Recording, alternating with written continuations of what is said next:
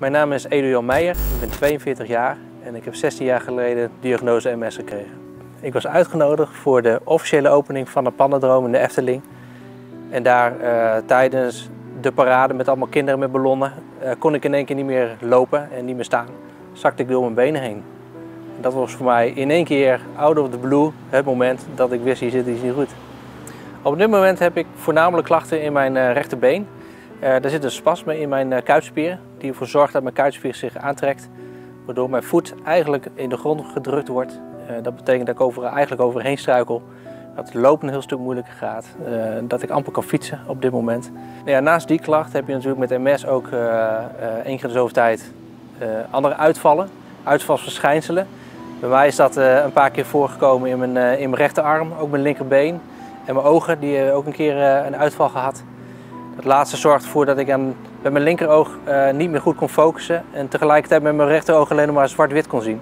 Je wordt er heel onzeker van. Je weet niet, niet hoe lang dat gaat duren. En uh, of je na medicijnen, na een kuur, uh, of je dan je volledige zicht wel weer terugkrijgt. Wat het restant is van, van de litteken, je hebt er geen idee van. Die onzekerheid die je ervaart, die, die leidt ook tot, tot een bepaalde angst. Um, die onzekerheid dat je zometeen iets niet kan wat je op dit moment wel kan, die zorgt ervoor dat je een soort, soort angst hebt voor dat onbekende wat er zometeen wellicht gaat gebeuren of niet gaat gebeuren. Dat weet je dus niet. Ja, ondanks dat ik een fantastisch leven heb met een, eh, een prachtige vrouw, een mooie dochter, een hele mooie baan met, eh, met onwijs leuke collega's, zijn er altijd momenten dat je helemaal teruggeworpen wordt op jezelf. Uh, waarbij andere mensen je ook niet, kan, niet kunnen helpen. Ja, vroeger gingen we met vrienden gingen mountainbiken. Met z'n allen gewoon lekker op een zaterdag uh, de bossen in. Ja, dat zit er dus allemaal niet meer in. Dat is wel heel confronterend. Dus dat betekent soms dat je ook erg eenzaam voelt. Dat je de wereld een stuk kleiner wordt. Omdat je dat soort dingen dus allemaal niet meer, ja, daar kan je niet meer aan meedoen. Als zou je het heel graag willen.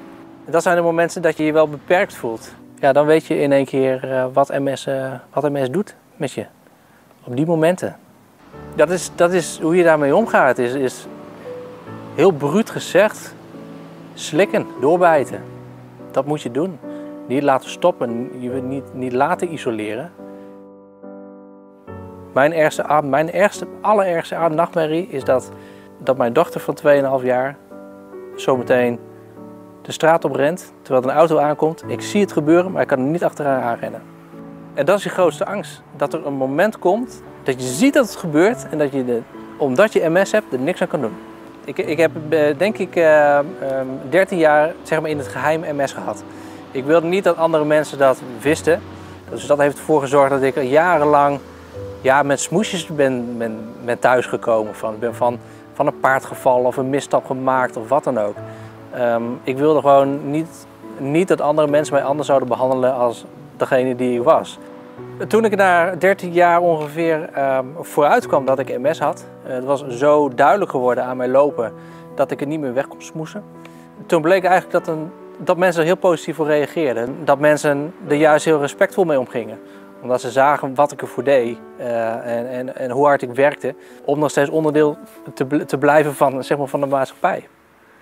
Als je MS krijgt, dan weet je inderdaad, je weet niet waar het naartoe gaat. Het is heel onvoorspelbaar. Je weet niet wat er volgende week gebeurt en wat er morgen gebeurt. Dus dat heeft mijn wereld wel helemaal ondersteboven gegooid. Vanaf dat moment ben ik echt gaan leven. Met die beperkingen probeer ik zoveel mogelijk uit het leven te krijgen wat ik uit kan krijgen. Maar het is, het is, het is ook echt waar, in ieder geval in mijn, in mijn situatie dan, dat door MS dat ik weet wat leven is. Als ik niet die diagnose heb gekregen, als ik niet die beperking had gehad, was die vanzelfsprekendheid er waarschijnlijk nog steeds. En het idee van, oh, dat doe ik over een paar jaar wel.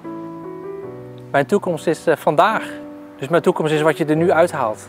Waarop, waar, waar je op terug kan kijken. Wat, wat heb je beleefd? Wat heb je ervaren? Dat is voor mij belangrijker om te kijken, wat ga ik over tien jaar doen?